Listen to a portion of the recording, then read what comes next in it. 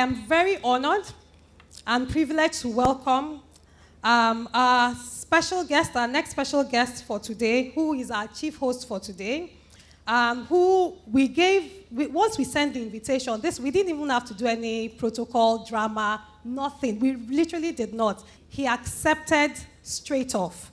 And we're very honored to have him. He came here, he came on time, and we're very, very privileged to have the presence of His Excellency, the Deputy Governor of Lagos State, Dr. Kadiri Obafemi Hamzat. And please, can we stand up and join me in welcoming him?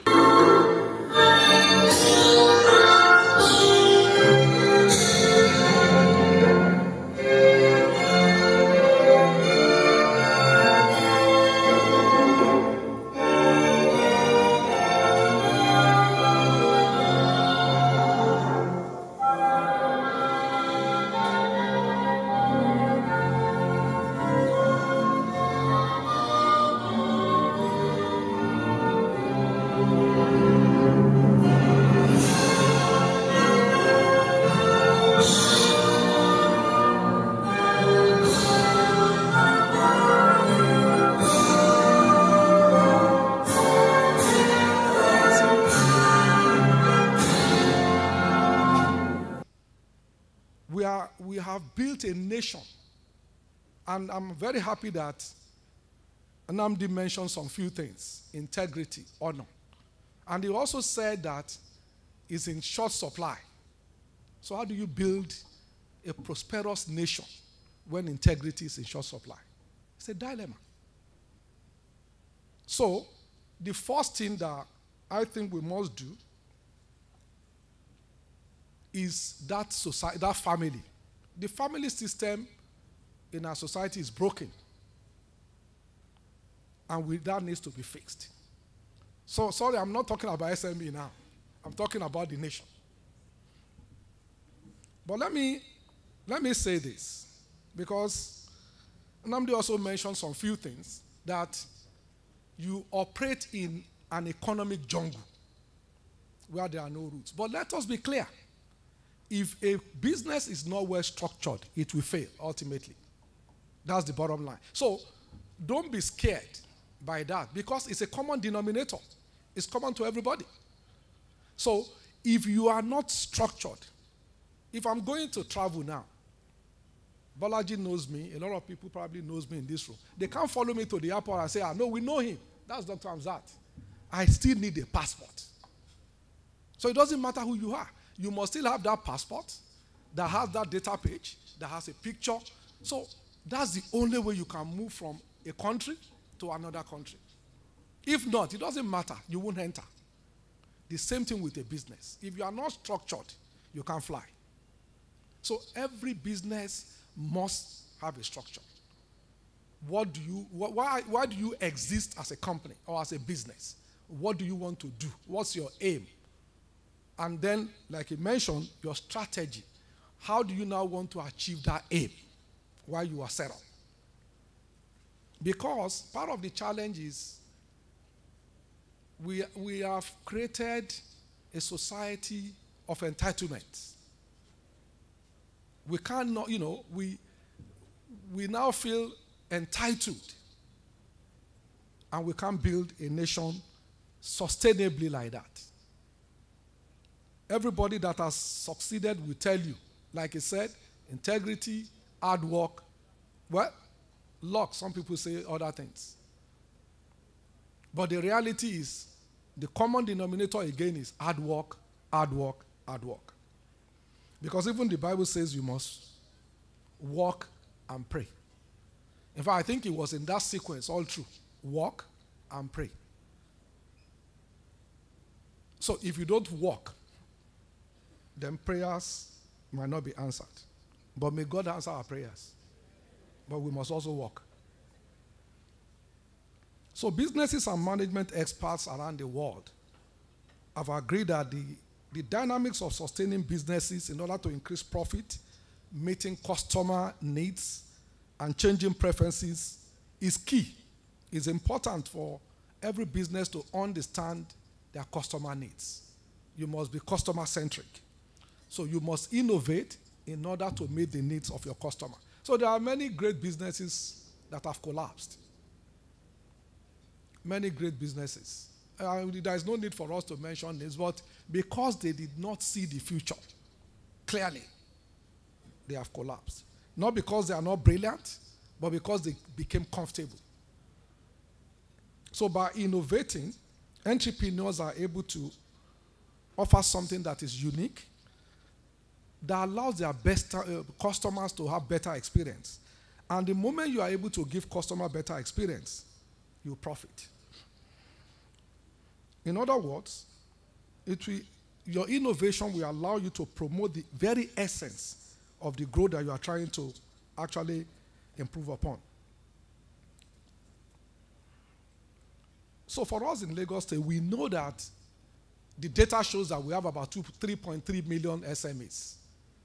That the question is how many are structured and how many are not structured. So part of the first thing that we intend to do is to assist businesses to be well structured. So there is a gentleman in Chile that studies why societies, especially in Africa, are sort of underperforming. There's De Soto is the man's name. He has a fantastic system where they do, they do this. They do study nations, sovereigns. But we were able to convince him to, to do Lagos. And he did Lagos.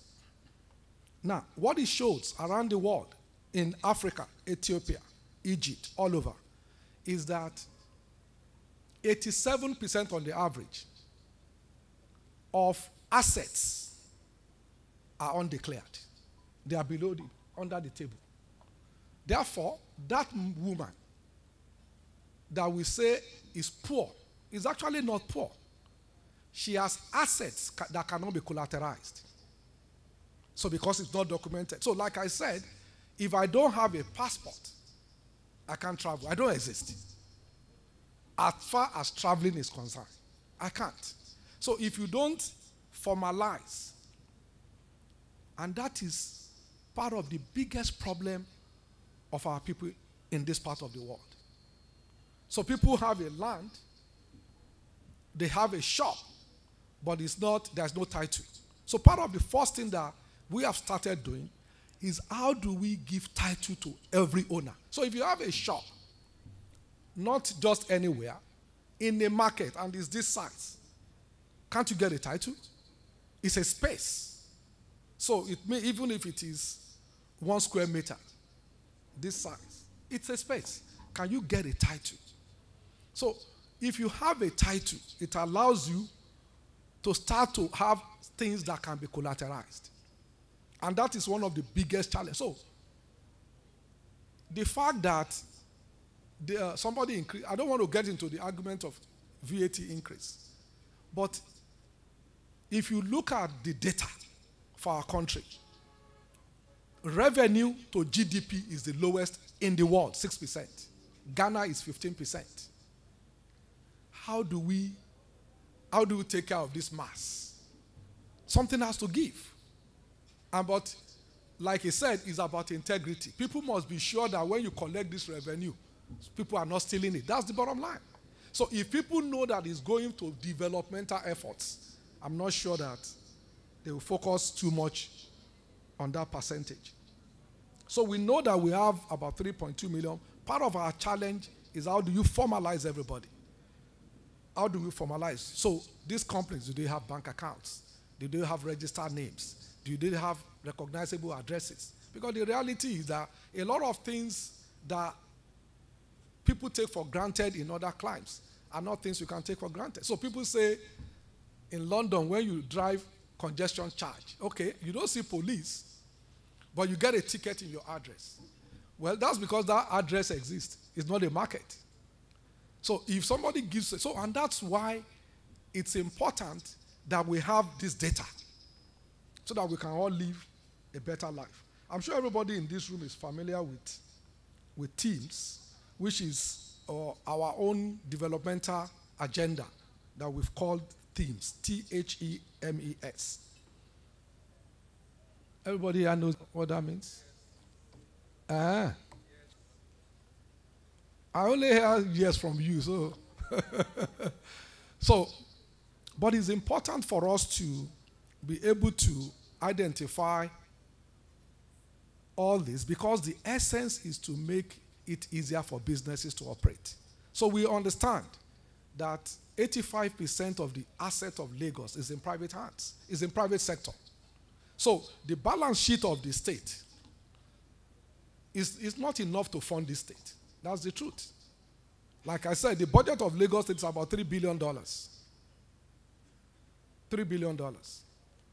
The, the, the NYPD has a budget of $6 billion. That's New York Police Department. So it means that there has to be a better way to fund our system. And, but we understand that the private sector, people like Nnamdi and the rest of them that are doing, we must now help them to do better so that they can take more risk. So if his, if his shop is 70, let's say we have 10 in Lagos, we want him to expand to 15 in Lagos. Because apparently it's not ghosts that will work there, it's human beings, Nigerians.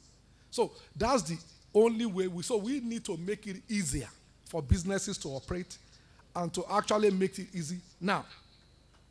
But in order to, in order to do that, in order to do that, we must all then have a playing field. Okay, so it means businesses must register, businesses must be known. You know, everything, so it, must also be transparent so that it, you don't have to run after people. The only way technology works if, if it is repeatable and predictable. If it is not, then it's haphazard. And that's the only way technology will go. I noticed also that you are mentioning Edo State, Edo State, and I was looking around. I said, ah, we are in Surulere. What's going on? so, I will ask you later, is it that Lagos State has not partner, partnered with you? Or what is the problem? Because we have trained over time. I was one time commissioner for science and tech, and I know the number that we trained. The challenge also is, in fact, after training people with skill, we actually also give them equipment. But the problem is, we found out that 80% we sell that equipment instead of using it. So we realized that part of the thing we also need to do is to reorientate people so that it's not just train people alone. So part of what our error was that we were training people how to fix computer, how to fix phone. We weren't training them how to think about business. So part of the things that we would like to partner with you that I can take you on is so instead of us doing the training, we just come to you. You have even made it cheaper anyway, so you are giving us like 75% rebate, and I will hold you to that. so instead of 300 that we are training now, we can turn it to 750 because it's cheaper. But seriously, um, I wanted to know is it that Lagos State has not partnered with you, or, or what is the problem so that we can resolve that and you can help us. It's easier for us if you do the training.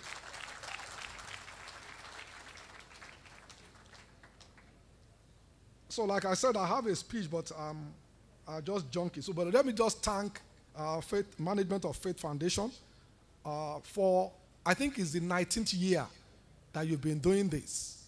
And I'm sure a lot of people have gone through that system that are lucky enough to go through that system so that at least they are able to have the skills necessary and then the support that they needed. I just hope that we can, they can also come to expand it you know, and uh, instead of, hopefully, instead of 500 this year, we can scale it to 1,000. So if you need space, you don't have to do it on the island. If you want space, we take you to Ikeja somewhere. You do it. We give you a space that can take 3,000 people. You understand? Uh-huh. So, so let's move it to let's move it to Mero, so that we can help those people in Mero too, or Alimosho, or somewhere. Not all these my brothers in suits and tie like me. you understand? So if you need space next year, talk to us. We'll take you to Mero and you will enjoy it. You'll see a lot of good people there. So I want to thank the management of FATE Foundation for this innovation, invitation, and to wish you the best of luck as you continue to partner with everybody, every Nigerian, to support and grow entrepreneurship in our state and in, in particular, and then Nigeria in general. And to all of us, the small business owners, the reality is everybody starts small. Everybody. Even the big banks, the first banks, everybody starts small. And then today they are bigger. They are bigger because they follow three rules. Like he said, you must have integrity and honor. If you have integrity and honor, it ultimately pays. It might be tough in the beginning, but it ultimately pays. And then the second is that they have a plan. They have, why do I want to set up that company? Why? Because there are so many ways to make money. But if it's to do something impactful, you will enjoy it, you will then also make money, and you affect people's life positively. And the third one, of course, like he said, is luck. But I'm sure that in our country, that's not a problem because we all go to mosque and we all go to church. Hopefully, we do the right thing after that.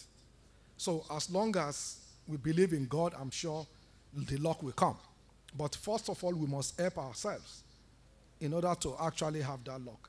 Because, like I say, heaven helps those who help themselves, and that is hard work, honor, and integrity.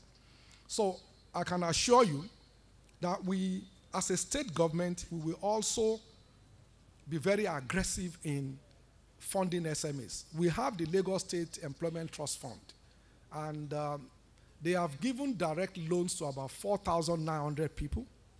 Uh, we are trying to see how to expand that. We, you know, we've been advised that there's enough body of literature that says that giving people cash free of charge doesn't help body of literature, not my opinion. So we held, where I was in a place where we held a meeting with some American fund that wanted to actually also inject because they like the model that it's working, people also. But they said, well, so you give interest at 5%. That's not realistic. Can you increase it to 10? And I said, okay. So why should we do that? And they have like four reasons. That the problem is that when you get people into entitlement mode, it's always difficult to win them off. And that the reality is the interest in your countries, whatever it is, 22%, 23, that if we can take it to 10, they, can, they will now match. So if we are giving out 25 billion a year, they will match that 25 billion. So it's a decision that we have to make. That should we take it from 5% to 10%? It's a decision that we have to make. But, you know, the appetite of that injection also makes it compelling that we should actually think about it and see how that affects people's businesses. Now, the reality is that a lot of people get 1.5 million, 200, 500,000, and so on and so forth. So, if we are able to actually inject and double that, I think that will assist a lot of people. So I want to thank FATE Foundation and everybody that is in this room for this, and I hope that the deliberation will be great.